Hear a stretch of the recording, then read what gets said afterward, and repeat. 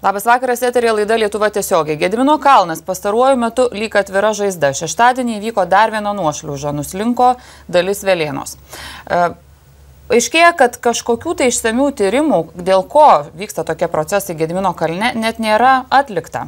Menininkai savotiškai įvertina šitą situaciją ir siūlo įsiamžinti prie Gedimino kalno, kol esą pilis dar nenugriuvo. Šiandieną studijoje Renaldas Augustinavičius, kultūros viceministras, kurio ir yra atsakomybė šiuo klausimu. Labas vakaras, viceministrė. Taip pat Vidas Mikulėnas, geologijos tarnybos inžinierinių geologinių tyrimų poskirio vedėjas. Labą vakarą. Labą vakarą. Tai aš nuo jūsų ir norėčiau pradėti, nes žinau, kad šiandien ilgai ten braidėte po tą purvyną Gedimino kalnerite, atlikote matavimus, tyrinėjimus. Ką jūs nustatėt? Mes tiesiog e, eilinį kartą atlikome naujų geologinių reiškinių apžiūrą Gedimino kalno šlaituose, kad e, tiksliau kiekybiškai įvertinti, koksgi yra dydis tų naujų nuošliaužų. Ir ką, jūs, mm, ką jums pavyko nustatyti? Taip, gal aš noriu jūs šiek tiek patikslinti. Prieš paskutinę nuošliaužą įvyko penktadienį vakare. Jinai, jinai pažeidė šlaito apačią pietvakarinėme, pietvakarinėje šlaito papėdėje, na jau netoli valdovų rūmų, sakykime, jeigu tiesiai taip pažiūrėjus. Ir kita nuošliauža, aišku, visi puikiai matė na, yra rytinėme šlaite. Tai yra vidutinio dydžio nuošliauža, nuslinkusio grunto turis sudaro maždaug kelišimtus kubinių metrų. Jūs gal taip paprašiau, žinau, kad jūs kaip specialistas dabar aiškinat, kiek tai yra rimta. Ir kiek taip, pavojinga, sakykime, piliai stovinčiai ir apskritai, kiek tai, ta situacija yra rimta? Tai yra rimta, nes e, nuošliaužos baigia apeiti visą kalną aplink. Na, turbūt sveikiausias segmentas šiuo metu yra tai ties senuoju pakilimo taku, mhm. tai šiaurės rytinis šlaitas ir pats vakarinis šlaitas ties Gedimino bokštu. Tai o kiek grėsminga? Nu, turiu menį, na, tai, tai, žinote, štai yra... menininkai apokaliptinį scenarijų piešia, siūlo nusifotografuoti prie Gedmino kalno dėl to, kad mano, kad jis vis tiek vieną dieną, kai tokie procesai vyksta, nugrius, apgrius ar kažkas įvyks baisaus. Žinote, tai yra jau seniai grėsminga. Mhm. Ir ypač šis ruduo nedėkingas, kuomet buvo labai daug kritulių ir esama e, lietaus vandens nuvedimo sistema nesusitvarko su šiuo uždaviniu. Reikia būtinai sausinti kalną. Viceministrė, mes su jumis šioje studijoje apie kalną ir apie, apie jo būklę kalbėjom birželio mėnesį. Tada e, jūs sakėte, kad Kalno pietrytinio šlaito ir aukštutinės pilies rūmų liekanų būklė yra sudėtinga ir kad vyriausybė dėl Gedimino kalno avarinės situacijos patvirtino netidėliotinų veiksmų planą. Tai dabar kokie tie netidėliotini veiksmai buvo padaryti, jeigu kalnas ir toliau sėkmingai važiuoja žemyn? Tai nieko nebuvo padaryta. Tai gal no. Reikia taip ir konstatuoti, nepadarėm nieko buvo patvirtintos tokios priemonės. Pirma tai priemonė buvo susijusi su Gedimino kalnos aikštelė, Tai yra, kad reikia uždengti aikštelės viduryje esančią vėją, per kurią patenka labai daug kritulių vandens ir įsigeria į kalną ir tam tikroje altitudėje jie, kai sakant, tie vandenys įsiveržia nuošliaužų pavydu. Tai padėjo šitą priemonę? Aš, aš manau, kad taip, nes mes turbūt šiandien turi, būtume turėję daugiau nuošliaužų ir visų perimetrų greičiausiai. Antras veiksmas buvo, tai yra sutvarkyti lietaus nuotekinę, tai yra neplečiant jos infrastruktūriškai, tiesiog ją išvalius ir ją nuolat prižiūrius. Tai irgi, manau, to būt, buvus net likus, greičiausiai turėtume Taip, daugiau nuošliaužų. Ponas Mikulėnas sako, kad reikia tvarkyti Taip. lietaus nuotekas, nes ponas jos Vida, ar... Ponas Vidas kalba apie infrastruktūrinę plėtrą, tai yra, kad jos, jos diametrų ir kiekio nepakanka, reikia juos didinti. Tai šitie yra numatyti jau stacionariuose darbuose, šitas infrastruktūrinis. Kada čia bus padaryta? Tai yra planuojama kitų, nu, kitų metų vidurio startuoti su infrastruktūriniais darbais. Atlaikys žiemą kalnas ir pavasarį. Sunku, sunku pasakyti. Matote, slenka tos vietos, kurios sudarytos ir iš e, nenatūralaus grunto. Mhm.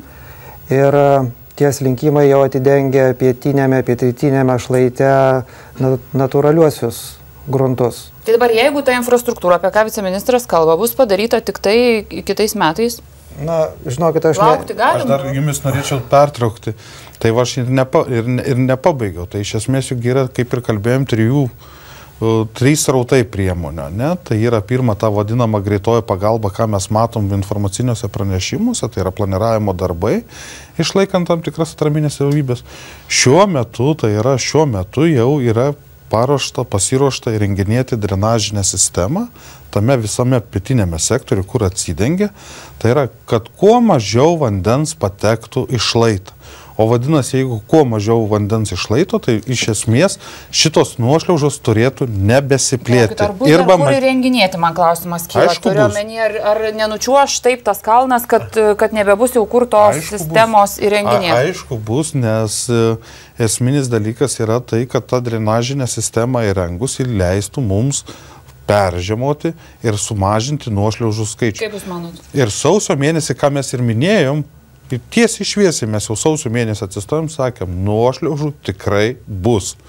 Nes matom, kad tai procesai yra išplitę, tikrai tos priemonės, kurios turi būti stacionarios, jos užtrunka laikę, nes devynis kartus turi pamatuoti dešimtą kartą pjauti, tai yra ir geologiniai tyrimai, ir visas inžinierinis priemonių kompleksas.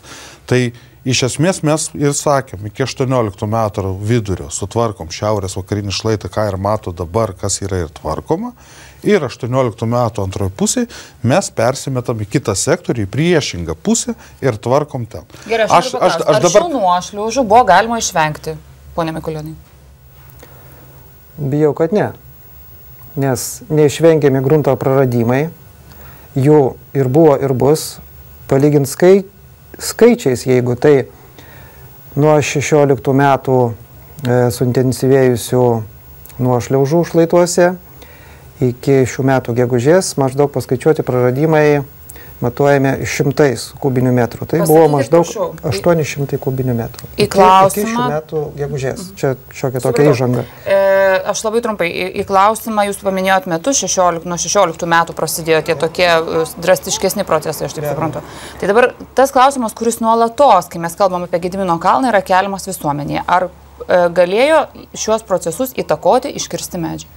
Taip, čia kiekvienas pašnekovas matyt laukia šito klausimo. Mano, mano, Gal ir nelaukia, atsakymo laukia. Tikisi, atsakymas, atsakymo vienareikšmiško nėra, nes nuošliaužos žaidžia šlaitus ir, ir tuos, kur yra medžiai ir kur nėra medžių. Ir šios kalvos atveju tai irgi visko būtų buvę. Bet gerai, aš tai visiškai nespecialistė, bet suprantu, kad kada nukerta medį ir išrauna kelmą, ten atsiranda skylė. Kelmai buvo palikti gerai jisai tada trūnyja tą, tą medieną. Taip, taip, vis tiek tos skylės. O kas liepia tos medžius iškirsti? Medžius tai iš esmės buvo Lietuvos nacionalinis muziejus priėmė tokią koncepciją. Taip, koncepcija atidengti kalną visuomeniai, mhm. nes mes žinom, kad kalnas buvo dirbtinai užsudintas carinės Rusijos metu. Galima matyti ir tam tikrą ideologizuotą atvejį, tai norėta mūsų paslėpti simbolį. Mhm E, po medžiais, nes prieš tai buvo tvirtovė ir manau, kad tas sprendimas yra teisingas atidengti. Tik tai, va, kaip ir gerbiamas Vidas mini, tačiau vienareikšmiško atsakymo tikrai nėra, bet mes žinom tikrąją priežastį, kodėl nuošliauža įvyksta. Tai yra vanduo, tiek gruntiniai vandenys, tiek krituliai. Tai mums dabar reikia koncentruotis, kaip mes turim susidraugauti su mes vandeniu. Apie tą, tą laikotarpį, kada prasidėjo procesai. Tai jeigu mes ieškome... Procesai buvo ir 2004 metais. Priežasčių, kodėl. Ir, ir 8 mhm. metais. Nu, bet jeigu mes, tai tikrai nebuvo. Jeigu mes pamatytume net lenkmečio spaudą, tai buvo lietuviai kaltino Lenkus, kad jie netvarko kalną, nes slenka kalnas, čiuožia. Tai Tai iš... Buvo istorijoje tų taip, įvykių taip. Ir jeigu, tarkim, tvarkoj, ir, jeigu, bet... ir tarkim, jeigu imti jau patį ankstyviausią istorinį šaltinį, tai mes žinom net, kad Mantvido namai buvo sugriauti buvo, bet... 15 amžiui, kuris buvo vienas iš Vytautų dešiniųjų rankų. 15 amžiui gyvename, bet... dabar yra, dabar, dabar. Ir, ir kalnas dabar. Tai va dabar ir pasako, Šožia. ir mes ir sakom, tai yra inžinierinis sprendimas yra šiandien toks. Nuošliaužų tikrai neišvengsim Pirmas, tai pirmą mes turim tą konstatuoti. Antras dalykas, mes turim šlaitus pe, paruošti peržiemojimui, kad kuo mažiau vandens ten įsigertų. Ir kada mes parengsim projektą, tai yra kitų metų pradžioj, kad mes galėtume ateiti, kaip dabar į šiaurės vakarinį šlaitą, su stacionariais tvarkybos darbais. Pone Mikulienai, e, Lenkai ištyrė kalno geodeziką ir tik tai kalno geodeziką ir pasakė, kas jam gali atsitikti.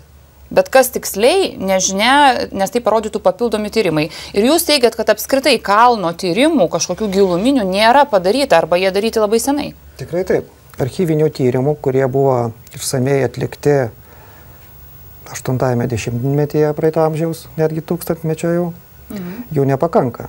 Nes e, kalną reikia parametrizuoti dabar koks yra gruntas, kokios jo savybės, koks yra gamtinis drėknis, koks yra jo tankis, koks yra jo sankabumas ir taip toliau. Tai yra šitie duomenys, kuriuos reikia naudoti skaičiuojant kalno pastovumą.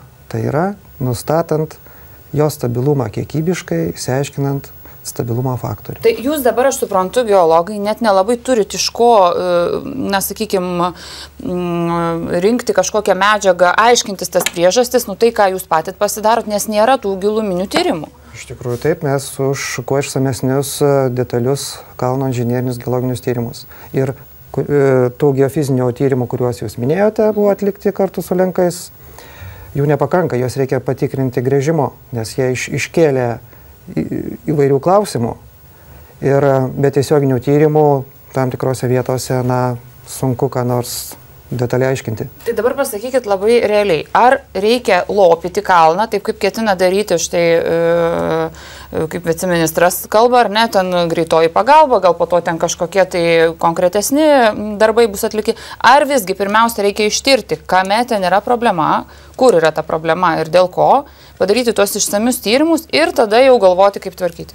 Na tikrai taip, reikia remiantis tyrimų duomenimis su, suprojektuoti pačias tinkamiausias priemonės ir jas atlikti, o na, kalno šeimininkai, jeigu mato uh, lopimui pačias opiausias vietas, tai na, jiemgi to daryti neuždrausi. Bet gerai, bet tai ar tai bet nebus, kad reikia... supakuosim kaip kokį ne. saldainį į naują popieriuką ir tikėsime, norė, kad... Norėčiau jumis patikslinti. Esminis dalykas tas peržymui, kas yra skirta, tai yra skirta grinai suvaldyti vandenį paviršį. Kur kalba gerbamas vidas, tai kalba apie normalius geologinius tyrimus, kuriuo mes pritarėm visom keturiom kurie reikalingi stacionariems darbams suprojektuoti ir įgyveninti tą, ką mes planuojam 18 metų antroji pusė, mes be šitų geologinių tyrimų duomenų negalim padaryti. Tai ir Taip, čia, bet jūs samdėt Lenkus. Šiuo atveju ir, Lenkom, ir, Lenkų kompanija, kuri ir, kažkokius tos tyrimus padarė, ir, bet ne, ne giluminius. Jie padarė echoskopiją. Jeigu kalbant mediciniškai, tai jie padarė tiesiog echoskopiją, geofiziniai tyrimai. O reikėjo jums to, Zo... kiek taip, susimokėjom taip. dar mes už tą echoskopiją? Ji nieko nekainavo. Čia geologijos tarnyba galėtų patikslinti, nes jų kvietimu tai į, į, į, įvyko, bet iš esminį, esminį padarė e, echoskopiją mūsų kaimynai. Dabar, ką kalba gerbiamas Vidas, aš taip liaudiškai po jums pasakysiu, reikia įkišti zondą. Tai yra į zondažą, padaryti zondažą ir gauti duomenis reikalingus ruošintis operacijai. Ir, kur, ir operacija. Kuo giliau, tuo geriau. Jo, kuo giliau, tuo geriau.